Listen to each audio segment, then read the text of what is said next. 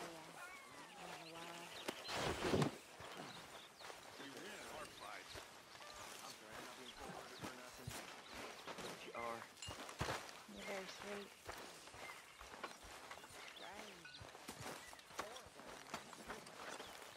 Sweet. I'm not no good for you. Okay. Whatever you say.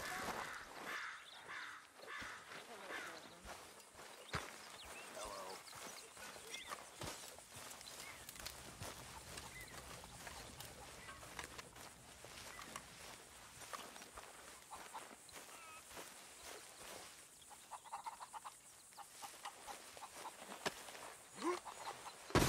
What, Sean? Thought they'll kill him.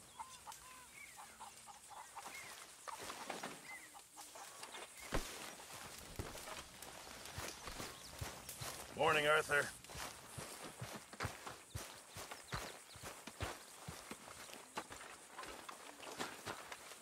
Just what did you say to me? Well, I, I didn't do it. Huh?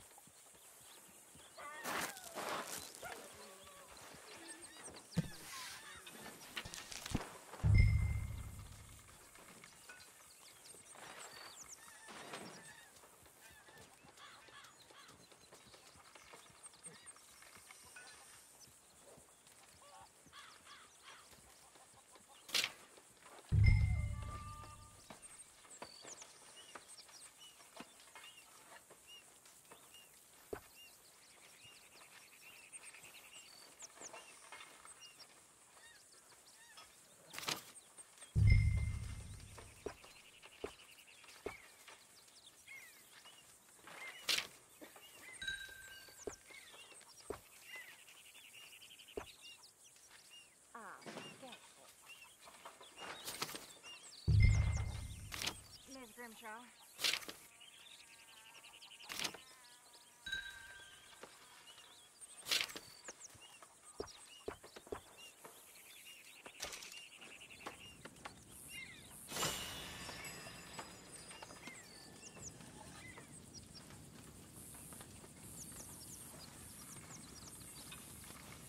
How did you get on, Herr Morgan?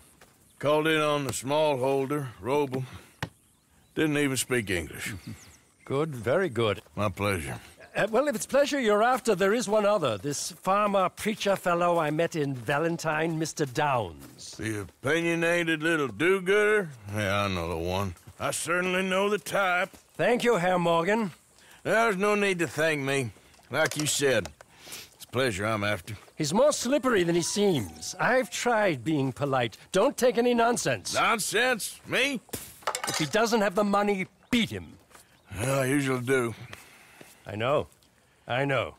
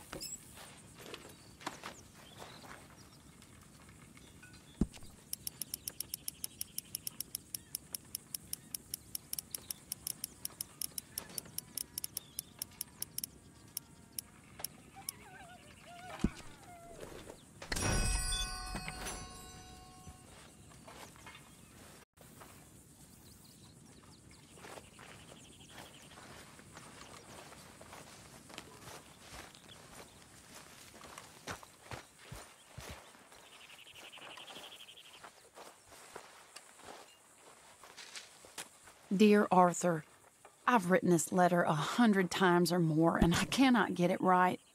It's me. You know it's me from the bad handwriting. I know I said when we last spoke, and I was going off to get married, that we would not speak again. I know I said a lot of things, and I meant them, I suppose, at the time. But I'm not so proud as to not speak to people who care for me, or cared for me. I've been in Valentine for a couple of months. I had some bad luck, and, well, it's a long story and not an interesting one. But I am here for now. I saw a couple of the girls, or whatever the polite term is for them, that ran with you and your associates in town, and I heard tell of a man who sounded like you. I would love to see you again if you could spare me a little bit of your time. I'm renting a room at Chadwick Farm, just north of Valentine. Yours, Mary Linton.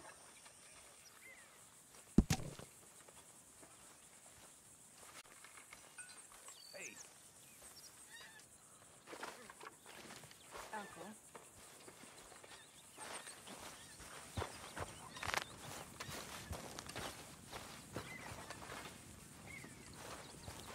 Before you come any closer, the answer is no. What did I want? You wanted money. Just a little. Just a little. You already owe me a lot. I am not well. I think I'm dying. I need... I, I need... If you are dying, how do you plan to repay me? Oh, you are a heartless little swine.